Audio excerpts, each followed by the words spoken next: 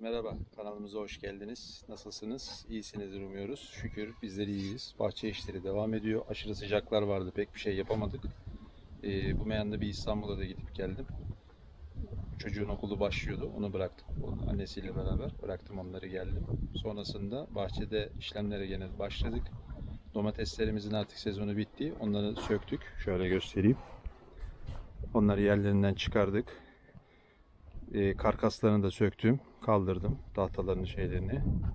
Şöyle bahçede artık ürünler sona doğru geliyor.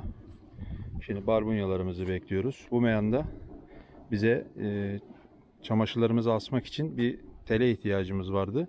Şimdi tel yapımı için inşaat demirlerimizden bir işleme başlıyoruz. Onu da şöyle hemen kısaca göstereyim.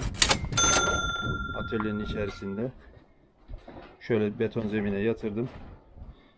Söktüğümüz inşaat demirlerimiz vardı yani çitin etrafında tavuk çitlerini sökmüştüm. Şimdi bunlardan üç, üçlü vaziyette birbirine kaynak yapacağım. İki sıra haline getirip üstüne de şöyle bir T atacağım. Şöyle dört ipli bir tane bize şey oluşturmaya çalışacağız. Çamaşır ipi. İyi seyirler.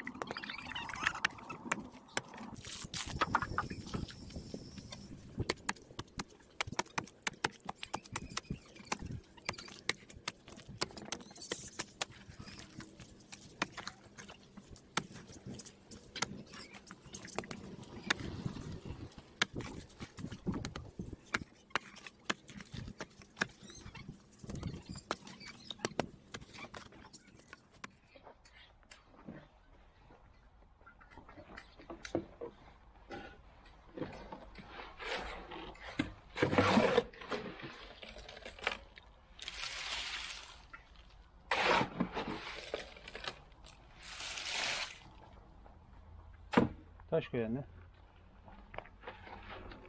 Büyük mü? Büyüğü koy oraya. Dur. Bekle.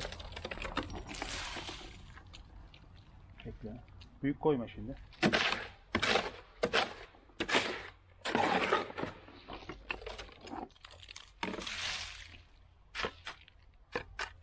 Koy şimdi şuraya da.